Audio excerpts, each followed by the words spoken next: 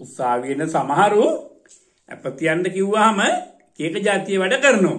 සමහරය කියනවා ලෝය වශයෙන් ඔබතුමා ගාන මම දෙන්නම් ඇපාසං කරන්නම් මට බෑ කියලා. තව සමහරු කියනවා මුදල්ල පැත්තිබොත් ඒක මම දෙන්නම් ශර්යපය සංකරන්නම් බෑ කියලා. මේටිකේ වක්කීම් කිව්වොත් අපේ ගාස්තු දුනුත් එක පොඩි ගානක්.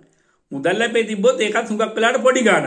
හැබැයි ශරීරපය විශාල මුදලක්. ඒ කියන්නේ අප වැඳුම් කර කියලා අස්සම් කරන එකේ ගාන ටිකක් ලොකු වෙන්න පුළුවන්. එහෙම වෙලාවක විත්තිකාරය ආවේ නැත්තම් අපකවට වක්කීමක් එනවා. අර අප බැඳුම් කරේ හෝ ඉන් කොටසක් හෝ බොහෝ දුර රජයට ගෙවන්න සිද්ධ වෙන්න ඉඩ තියෙනවා.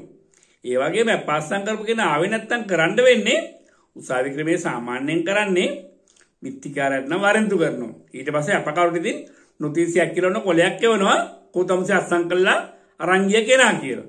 එතකොට ඉතින් අපකර රත් වෙලා හොයනවා අනේ මේක උසාවි ගිහින් නැහැ දැන් මාව තමයි අමාරු වැටෙන්නේ කියලා.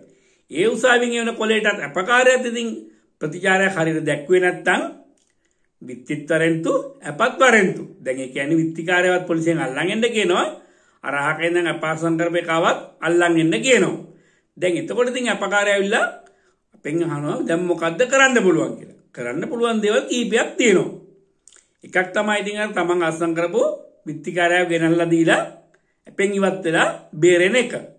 ඒක කරන්න මේක හොයාගන්න බැරි නම් එහෙම නැත්නම් මේක එන්නෙම නැත්තම් ඊළඟ දේ තමයි නඩු දිනේට හරි නැත්නම් මෝෂන් එකක් දාලා කලින් ඉදිරිපත් වෙලා හරි ගරු අධිකරණයෙන් ඉල්ලීමක් කරලා අර විත්තිකාරයාගේ වරෙන්තු පිටපතක් ගන්නවා. දැන් ඔබ ගාව අල්ලන්න පුළුවන් જાතිය කොලයක් තියෙනවා. දැන් ඉතින් විත්තිකාරයා ඉන්නේ කොහෙද කියලා පොඩ්ඩක් හොයලා බලලා අසන්නම් පොලිසියට ගිහින් කරදර කරනවා.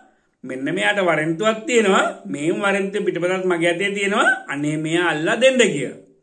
එහෙම අල්ලා දුන්නට පස්සේ අපි හිතමු දුර පළාතකින් අල්ලන්නේ කියලා. උදාහරණයක් විදිහට නඩුව තියෙන විත්තිකාරයා අවිසල් උසාවියේ. නමුත් මේක හැංගිලා ඉන්නේ ගාල්ලේ. දැන් ඔබ මේක ගාල්ලේ ඉන්නවා කියලා දැනගෙන ගාල්ල පොලිසිය මගින් ක්‍රියාත්මක කරන්න පුළුවන් විදිහට වරෙන්තු පිටපතකුත් අරන් තියෙන්නේ. දැන් මේ මිනිස්සරේ ගාලු ගිහින් බලනවා සතයි ඉන්නවා. දැන් ඔන්න පොලිසියට කරදර කළා අල්ල ගන්නවා. අල්ලගත්තාම ගාල්ලෙන් එකපාරට අවිසල් උසාවියට ගේන්නේ. ඒ ගාල්ල මහේස්ත්‍රාත් අධිකරණ අරන් ගිහින් එහෙන් වාර්තාවක් එක්ක දානවා මෙන්න මේක අවිසල් උසාවිය නඩුවකට ඉදිරිපත් කරන්න ඕනේ කියලා.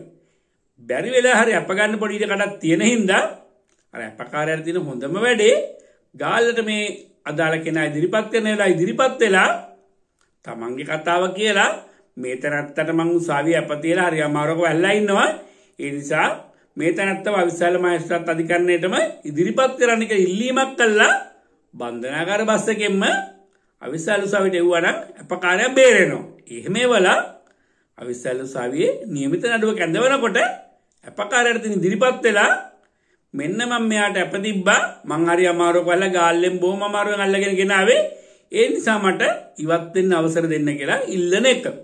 එහෙම ඉල්ලුවාම ගරු විසුතුමා සටහන් කරනවා අපකරුට ඉවත් වීමට අවසර දෙමි බැඳුම් කරේ අවලං කරමි කියලා. ඉතින් ඔය කාර්යසටහනත් කොකට තරන් තියාගන්න එක අපකාරයගේ පැත්තෙන් හරිම වටිනවා. පස්සේ කාලෙක ඔය උසාවි නඩපොත් මොනවා හරි හානියක් වෙලා හරි වුණොත් එදාට ආයි ලියුමක් එමාවොත් අපකාරයට ඔබට බේරෙන්න පුළුවන්. ඒක පෙන්නලා මෙන්න මම මෙන්න මේ දවසේ අපෙන් ඉවත් වුණා.